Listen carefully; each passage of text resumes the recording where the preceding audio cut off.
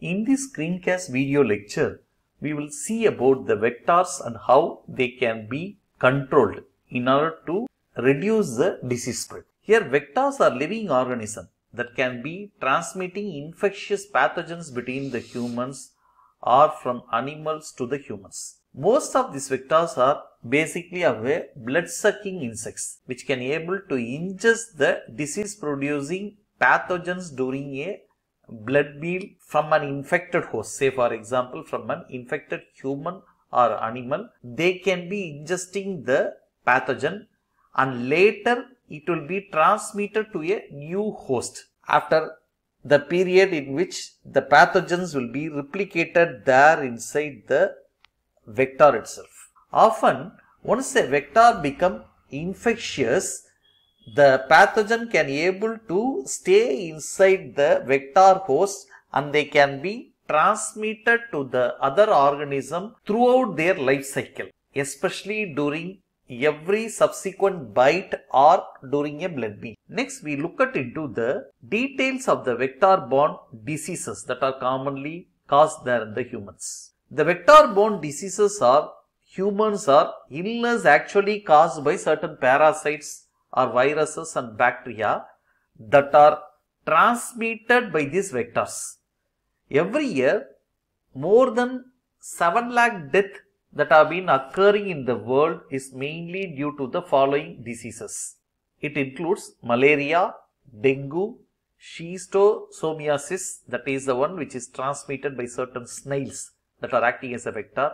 Then human African trypanosomiasis, leishmaniasis, Chagas disease, yellow fever, Japanese encephalitis and onchocerciasis. So, these are all the various forms of the vector-borne illness that are affecting the humankind. The burden of this disease is highest especially in the tropical and subtropical areas and they are disproportionately affecting mainly the poorest populations. Say, since 2014, major outbreaks of the dengue, malaria, chikungunya, yellow fever and Zika virus have afflicted on the various populations that have been residing there in the tropical and subtropical areas and they have claimed their lives. That is death of the people have resulted and a overwhelmed response have been there caused there on the health system in these following countries also that is coming under tropical and subtropical region. Other diseases such as chikungunya, leishmaniasis and lymphatic filariasis caused chronic suffering, long-term morbidity problems as well as in certain individuals they have caused a lot of disability problems also. Distribution of these vector-borne diseases are in turn determined by a complex set of demographic factors environmental factors and social factors. Global travel, trade and unplanned urbanization were also viewed as a reason for the distribution of these vector-borne diseases. Next, we look at the list of vector-borne diseases. That is the name of the disease and their vectors that have been associated with. The first one is uh, mosquitoes. Three different genus of mosquitoes have been playing role as a vector in the spread of the parasitic diseases. First one is the Aedes group of mosquitoes that have been associated there with the spreading of chikungunya, dengue, lymphatic filariasis, Rift Valley fever, yellow fever and spread of the Zika virus.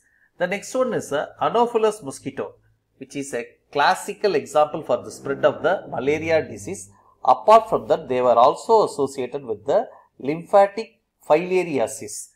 The third one is the Culex group of mosquitoes that are associated with Japanese encephalitis fever, lymphatic filariasis as well as the West Nile fever spread. The next vector is aquatic snails that are involved there in the transmission of the parasitic worms and they cause the type of a parasitic disease called as a schistosomiasis.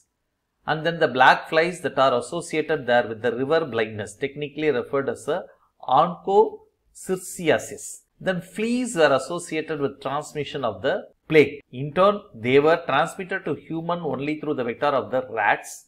Whereas lice have been associated there with the typhus fever, louse-borne relapsing fever. Sandflies are associated with leishmaniasis transfer and some sandflies have been associated there with the sandfly fever that is also called as a phlebotomus fever disease.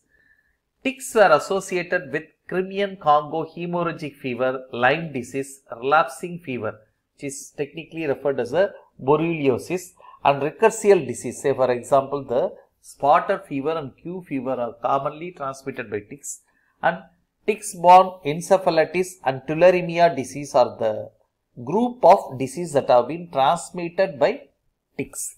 Then triatom bugs are associated with the American trypanosomiasis whereas tsetse flies are associated with the African trypanosomiasis which is also referred as a sleeping sickness. Finally, we look at into the methods that have been involved there in the vector control. It's a very important crucial strategy in preventing the wide range illness that have been occurring due to the spread of these vectors. Various methods have been there to control the vectors that are broadly classified into chemical control methods, biological control, environmental management and personal protective measures and finally some public awareness, creating public awareness through which the vector control could be accomplished. The first one is a chemical control method. Here, using certain insecticides can able to control the mosquitoes.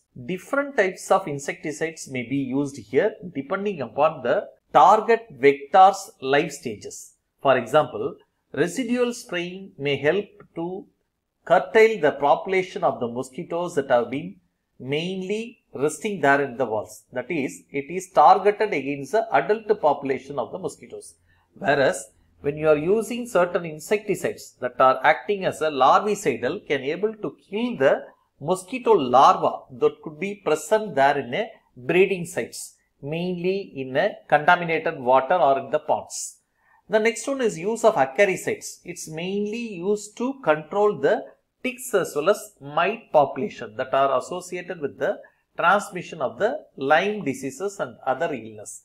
The next one is the molluscicides that is mainly help to control the snails which are associated there with the passage of the pathogens mainly certain parasitic worms that causes the schistosomiasis conditions. The next one is the biological control methods for the vectors.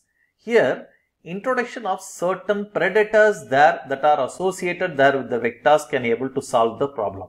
For example, if you able to introduce certain fishes there into the stagnant water bodies, they can able to successively kill the mosquito larva or that can able to eat the mosquito larva, thereby the mosquito based spread of diseases could be eliminated.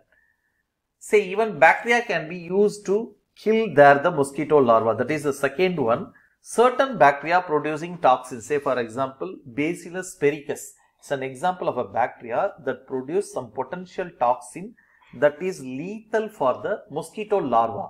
So, spreading of this particular bacterial in the water bodies can be able to reduce the vector-borne population by mainly killing the larval form of the mosquitoes.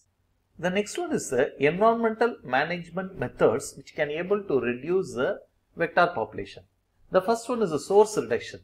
This mainly involves eliminating or modifying the breeding sites of the vector. Here the classical example is how to control the mosquito. Say, if you are able to drain the stagnant water there in a particular place, the mosquito population that breeds there will be completely get reduced or clearing a brushes and piles and trees and crops can able to eliminate the ticks which are commonly hiding on these sources. The next one is using certain improved sanitation methods that is proper waste management and sanitation practice could eliminate the availability of breeding sites for these vectors. Next comes the personal protective measures that could be best applied at individual levels. The first one is using of repellents applying certain insect repellent chemicals, say for example diethyl metatoluamide or other approved ingredients to exposed skin can be able to deter the mosquitoes and ticks from biting. The next one is using insecticide treated bed nets that is sleeping under an insecticide treated bed nets will be highly effective way to prevent the mosquito bites.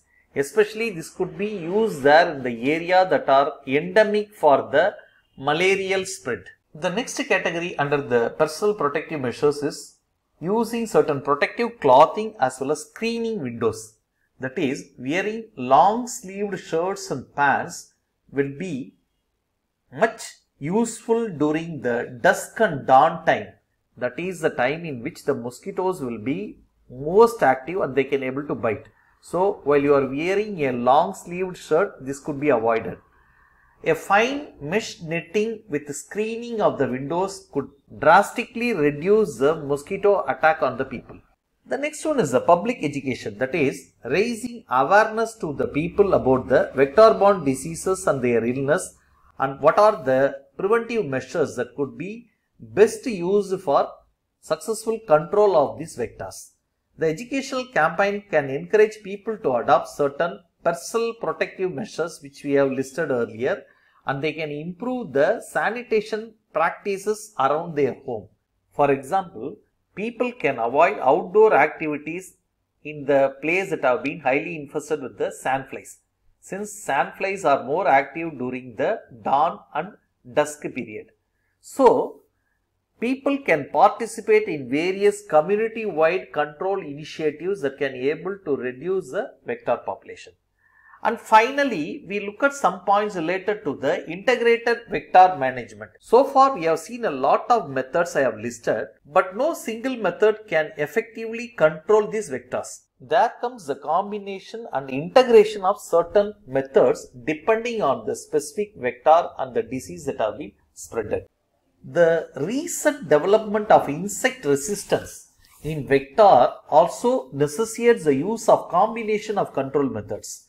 Further, community participation and sustained control efforts are essential for a long-term success as well as the eradication of the vectors of various community diseases.